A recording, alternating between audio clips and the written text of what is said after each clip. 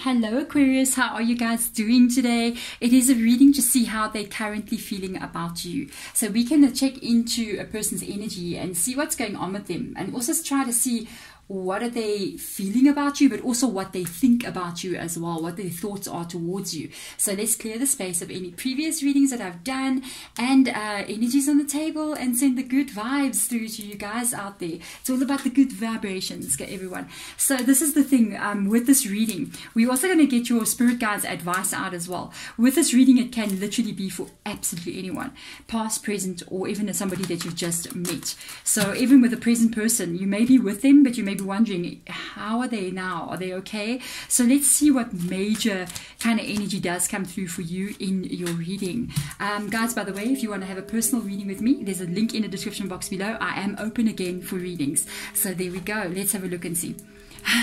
Clarity of belief, Ace of Swords. This reading is extremely specific because I'm, as I'm holding the card, I just got the vibe of the energy that's coming through here. I gotta tell you, I'm gonna have to tell you guys immediately in the description box when you were in the in the heading. This is a current connection. Um, this is a current connection. If you guys have had any kind of breakup, I feel like you're trying again kind of vibe. It's not somebody that you're not with. Um, they know it's hard with the Ace of Swords being there, but they know what they want Okay, they know what they want. They do want to be with you. There has been some kind of trouble in your guys' connection, a bit of drama that's been one, maybe I feel like it's been every couple of months or every maybe every second month you know what i mean? Once a month or something like that there's a drama that occurs that needs to be overcome. And it's so funny because when i'm feeling this it's not even coming from the cards. I kind of like feel every time that drama happens there's something that goes wrong. It's almost like you guys think you might break up at that time but you keep on going anyway. Yo that's different. Um, so let's have a look and see. They want this to succeed they want this to succeed. So let's have a look and see what is going on here. Um, how do they feel about you? How, I'm so curious. How do they feel about you? Let's unravel this mystery. Let's see what cards are sticking out here. Yeah, they know things have gone wrong. They may feel like you doing something wrong, by the way. I'm just saying, you know, this is the thing. We all look at situations and events that are unfolding from our own perspective. And I kind of got this vibe they're looking at things from our own their own perspective. I feel the chariot card here is the is the energy that I was picking up on, which is also Cancer's energy as well. And yes, Gemini with the Lovers card. Mm. And we are just moving into the solar eclipse on the 10th of June in Gemini. Okay, so this connection here, this is going to be a little bit intense.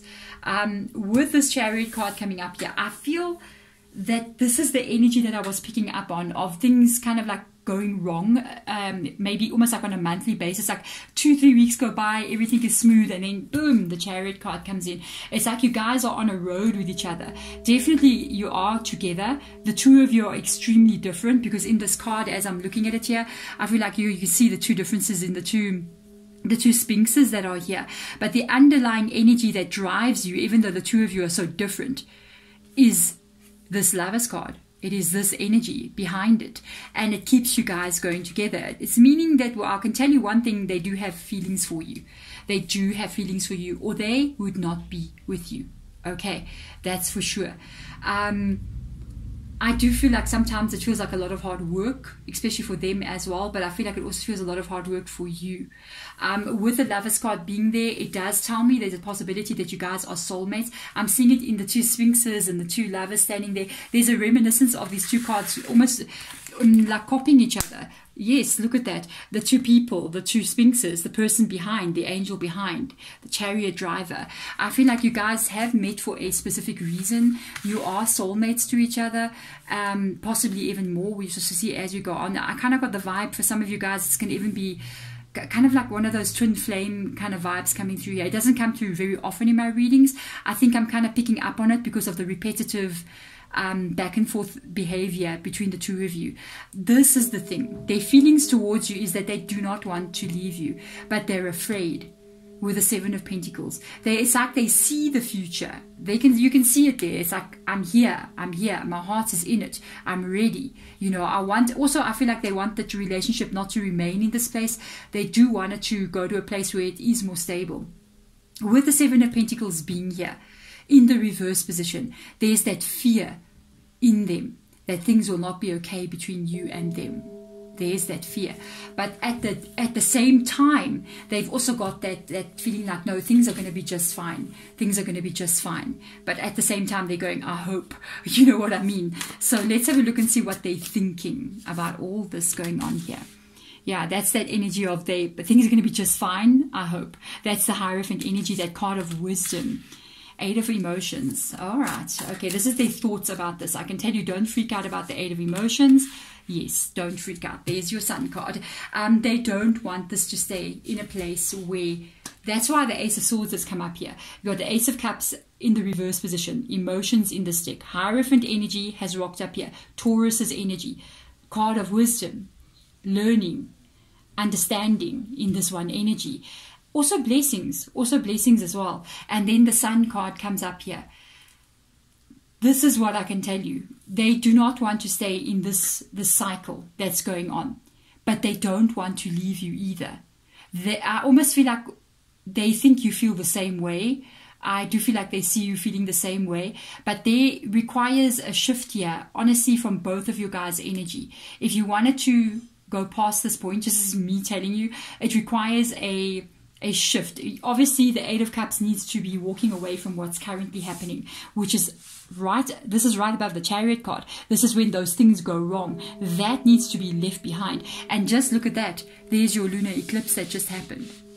There's the lunar eclipse. This moment's for you guys. If you're watching this reading before the 10th, um, I feel like this reading is really intended for you because you are, we are heading towards the 10th where there is the solar eclipse. There's major changes. We are going to be in North Node. That's the time you walk away from the past and into the future.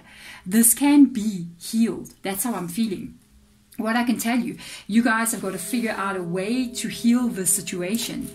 And it's going to have to be a different kind of way with the Sun card. It, re- it requires a change of perspective.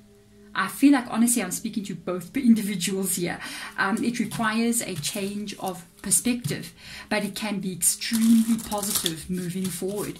Um, for some of the things, I feel like there's an energetic clash going on here. Some of the things that are being fought about or that are being that causing this chariot to go in the reverse position, they they may seem at the time like it's a big deal, but if you have to kind of like step out of it and change your perspective and actually have a look and go, um, we are fighting about what we're having for dinner.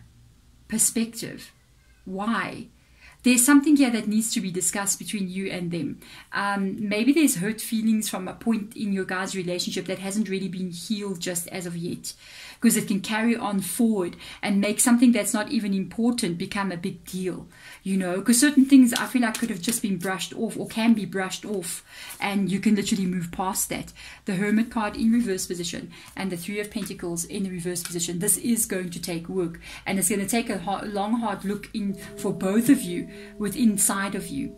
And do not be stubborn, guys. I'm just saying, with the Hermit card coming up here, that's Virgo's energy as well. It's going to require wisdom. And it's almost like the letting go of an outer ego kind of vibe going on here. And having a look at what's really important. If you guys value this connection, you're going to have to stop valuing um, being right, like literally, both of you. I feel like I'm your mom, you know, speaking to you like, no, guys, no, don't do that. I feel like I'm talking to my two daughters when they fight with each other.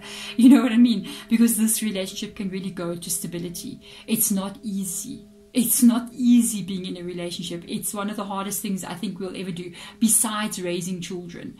And, um, with the Three of Pentacles being there, it does tell me that you guys can get to a place where it's literally marriage. Or if it's marriage, it can be a stable marriage. But it's going to take a bit of time for you guys to change how you're viewing the problem. You got to look at it from a different perspective and you got to remove any egos out of it. And, you know, um, I almost feel like spirit guide saying factual, factual, factual. Um, there must be no like pointing fingers back and forth. There needs to be a discussion about what's really important here and how we can move past it. Because if we start to look at the real root of what is going on here, the real root of it is that you guys are soulmate energy to each other. And it's almost like the soulmates that you are. There's external little factors that come in and cause a bit of disruption. And it wants to break that soulmate connection. Don't allow that to happen. This is something that you guys can work through using wisdom, using change of perspective, and then also going within yourself in the hermit mode, almost like letting go of an ego energy, almost like um, sometimes we don't have to be right. You know what I mean? Sometimes it's like, sometimes we can let somebody else be wrong. I'm just saying, you know what I mean? it's like, just let them be wrong, you know? Look at them and go, okay, and you're like, I know you're wrong. But anyway, kind of like let little things slide so this thing can go a little bit further and to a place of more stability. It is going to take work. But what I can feel from it all is that they are willing to do it as well. There we go, guys. Thank you so much for coming into the reading. I'm sending love and light. Bye.